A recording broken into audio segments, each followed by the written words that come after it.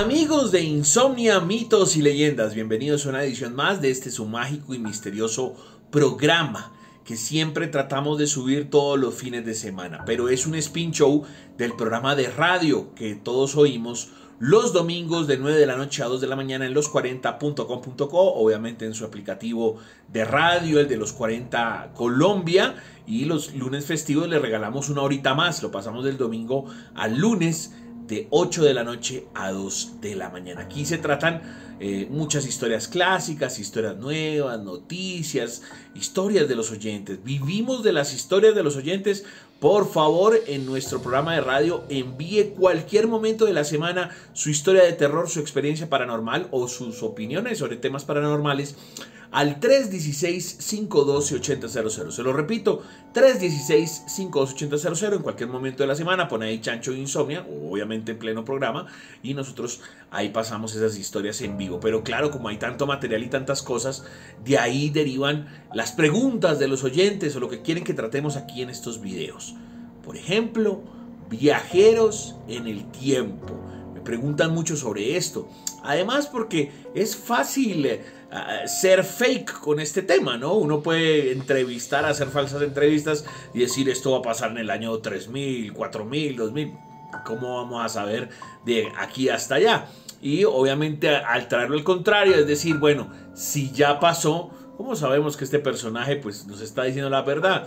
Eh, no, eh, yo adiviné la guerra en Ucrania, adiviné la pandemia, adiviné esto y lo otro, pues es muy difícil constatar y decir que sí, que sí estuvo, que sí grabó, pero ustedes ven constantemente, es de lo más buscado en internet, los viajeros en el tiempo, y nos encontramos con leyendas urbanas clásicas, historias clásicas, que hay unas que digamos sí, no, yo soy el principal escéptico. Recuerde que cada uno, según sus creencias religiosas, científicas y morales, determina si lo que se, aquí se dice es cierto o no.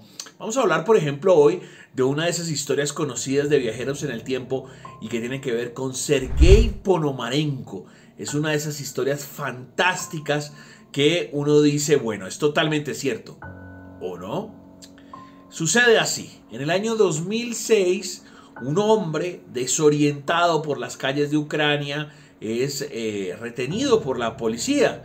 Y entonces al hombre le dicen, bueno, este tipo está como raro, parece como borracho, su pinta parecía también como del pasado, lo investigan, lo miran, le dicen, amigo, ¿dónde, ¿qué hacemos con usted? ¿Cómo se llama? Sergei Ponomarenko. Bueno, perfecto. Eh, ¿A dónde lo podemos llevar? ¿Cuál es su casa? No, no sé, el tipo desorientado dice que eh, eh, quiere que lo lleven con su familia, bueno, no hay problema, lo vamos a llevar, pero ¿usted qué o qué?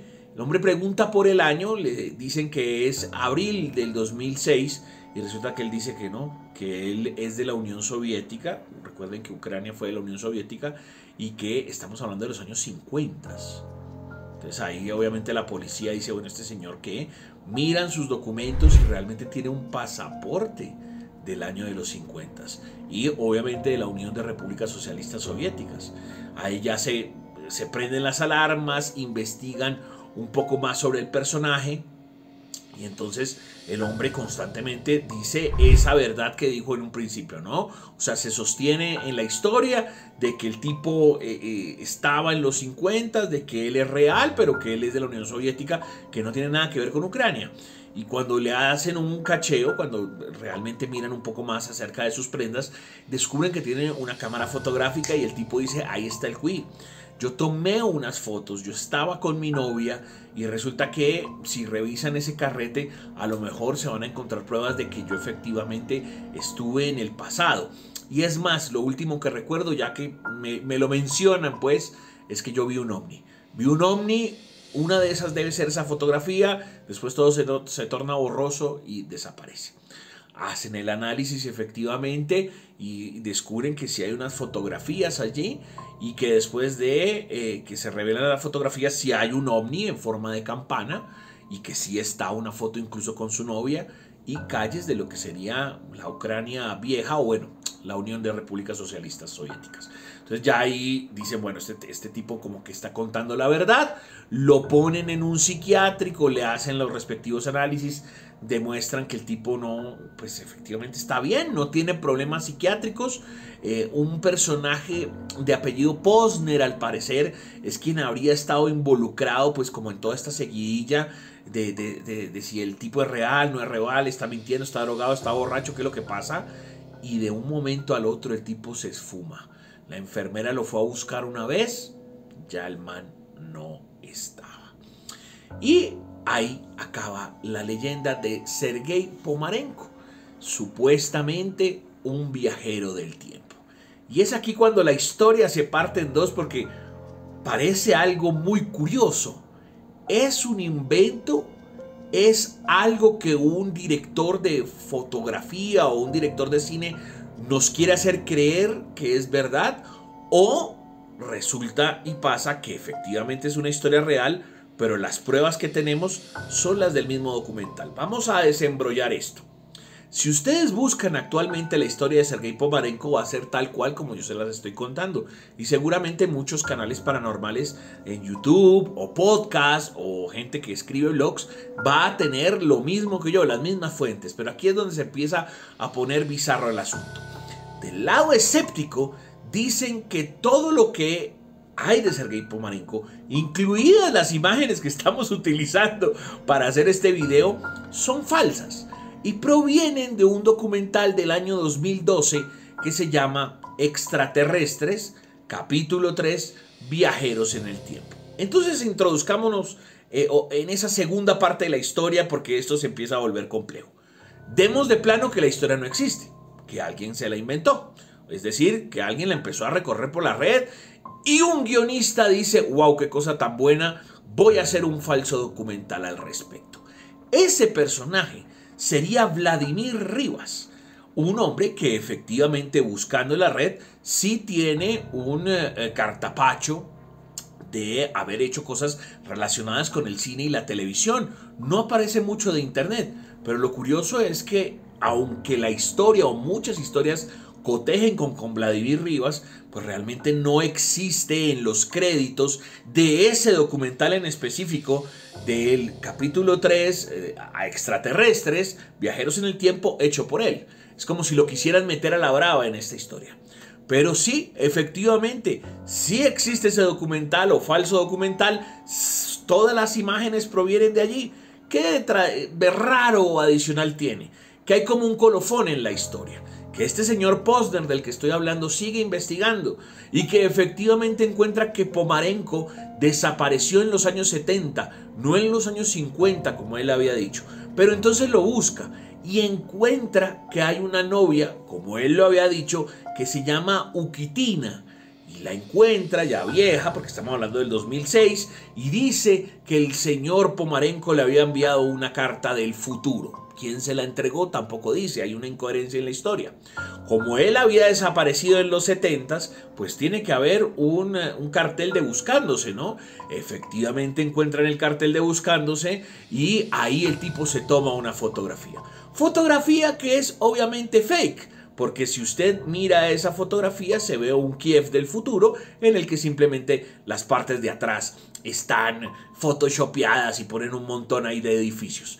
Además, ese cartel de desaparecido sería el mismo eh, o el tipo ese día con la misma ropa se tomó la foto para hacer el cartel falso y para hacer la foto falsa. Pero insistamos en el tema. Por más de que el señor Vladimir Rivas, supuesto director de este falso documental, que no podemos probar que sea él, existe el documental, claro que sí existe, pero no podemos probar que él lo haya hecho. Esa historia, nuevamente pregunto, ¿es real? ¿Quién se la contó a él? ¿Él es el guionista? ¿Hay otro guionista? ¿Qué más podemos saber? Claro, las imágenes, vuelvo y reitero, que en todo lado aparecen de Sergei Pomarenko son las de ese falso documental. Es decir, es evidente que Sergei Pomarenko no existe, pero este señor Vladimir Rivas contrató a este, a este actor o a estos actores que participaron allí en este documental o falso documental de 40 minutos. Y bueno, ¿de dónde sacó la historia? ¿Cómo hizo para fakear todo esto? Entonces hay un huequillo ahí en el que podríamos decir, a lo mejor la historia sí es cierta, todo el mundo nos hace pensar que es falsa porque está tomando este documental de Vladimir Rivas, pero resulta que la historia de Sergei Ponomarenko puede ser efectivamente real, pero no hay registros, no se encuentra nada del nombre, incluso como les digo, encontrar cosas de Vladimir Rivas es difícil porque aunque encuentre usted como un cartapacho de las cosas que él ha hecho, no aparecen cosas de ciencia ficción, incluso aparecen cosas relacionadas con el drama y cosas hechas ya, o sea, 2021, 2022, 2020 y del año 2012 no aparece nada. Las fotos que supuestamente estaban en el carrete de él, es decir, la del ovni, que aparentemente se ve muy photoshopeada, y el resto de fotografías son fotografías de Kiev pero vuelve y juega el misterio.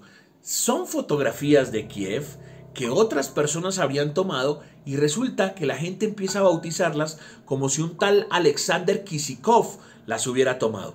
No existe ningún Alexander Kisikov. Alexander Kisikov no tomó ninguna fotografía y estas fotos son tomadas de una base de datos de Kiev, efectivamente de los años 40, 50 y 60, pero no a ese fotógrafo al cual se le están atribuyendo.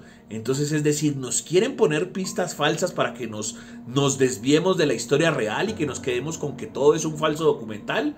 Insisto en la génesis de la historia. Es lo importante si efectivamente existió Sergei Ponomarenko y no si un director de cine pues hizo la vida de Sergei Ponomarenko. De hecho, lo más curioso es que todas las historias que colindan en ruso o en páginas en ruso con Sergei Ponomarenko nos llevan a leyendas clásicas de John Titor, de la gente de raíces eh, que también viajó en el tiempo, de cámaras o cosas que supuestamente serían cámaras en eh, videos o películas reales. Es decir, Charles Chaplin alguna vez mostró una supuestamente cámara era un aparato para la sordera. Apareció también en una, en una eh, pelea de box de Mike Tyson una supuesta cámara fotográfica y es cualquier cosa. También en el Mundial de Chile, pero pues es una cámara eh, de otra eh, configuración difícil de encontrar. Es decir, como que todas las historias las quieren condensar allí, pero nunca sabremos si es real o no es real, porque como que quieren tapar una mentira con otra mentira. O esta mentira, la de Sergei Ponomarenko, ¿será real? Último dato. Todo lo que encuentren también de Sergei Ponomarenko que no esté con las imágenes que hemos incluido hoy, que son, insisto, de ese falso documental serán de un patinador de la Unión Soviética. Es decir, alguien que sí existe, que sí tiene eh, cosas que contar, un patinador soviético, pero no es el Sergei Pobromarenko que estamos buscando.